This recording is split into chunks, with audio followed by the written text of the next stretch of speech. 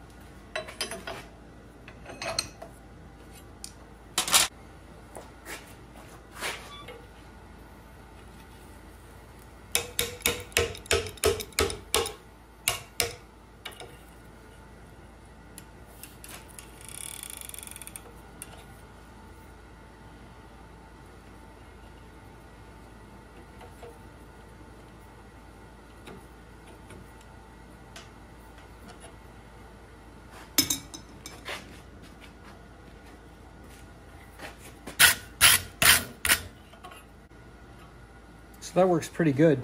I'm just thinking it would be nice to have some ability to vary that width and not have to make three or four of these. So why don't I cut a piece out of the middle and make it two separate halves that I can slide back and forth towards or away from one another in the vise. So I'm going to go ahead, I'm going to cut, uh, I'm going to cut a half an inch, no, about an inch out of the middle of this. And that'll allow me to bring it together uh, one inch closer. It's currently three inches, or at least that was my target. Yeah, so three inches was my target distance here between between the two. Um, I'm a little wider than that, which is to be expected. I ended up with a bit of a radius here. So that, that sort of why it looks a little too wide for my application. It should be, it's about three and three eighths right now because we ended up with a radius at the bottom on each end. So what I'm gonna do is I'm gonna cut out of the middle of this about an inch of material and that'll allow me to close this up to, um, you know, between two inches and then as wide as I, as wide as I like um, in the vise, really. Um, but really, this is sort of the right range, I think, in order to get that effect. But there are times when you want that twist closer together, more exaggerated. Um, yeah, so let's go back to the bandsaw and cut a little bit of material out of here.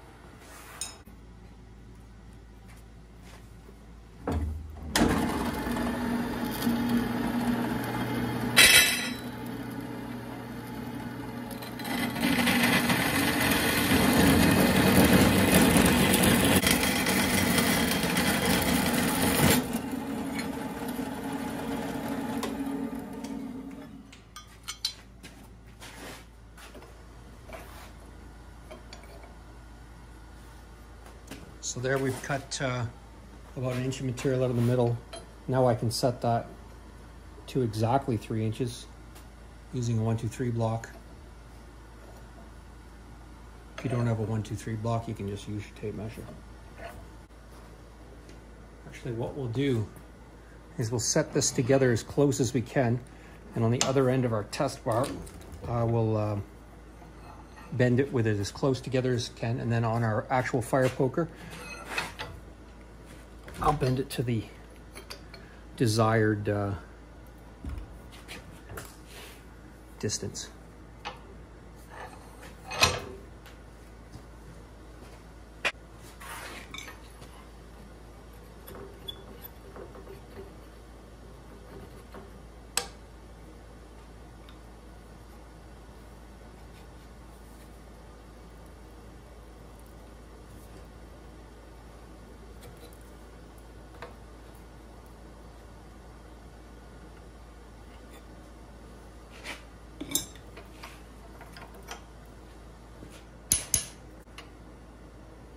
So there's at the tighter setting.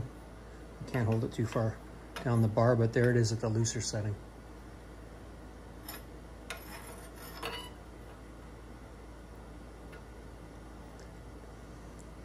I guess we could make another wrench that uh, has the same thickness as these in order to eliminate that flat spot that the adjustable wrench is giving me. Um, alternatively, I could just go with a smaller wrench. That's a pretty big wrench. It's a 12 inch wrench. So we could go with a with a six or eight inch wrench that has a little bit narrower width here. And then this would uh, would look a little bit uh, more fluid, I think. Anyways, I hope you guys like the bending jig.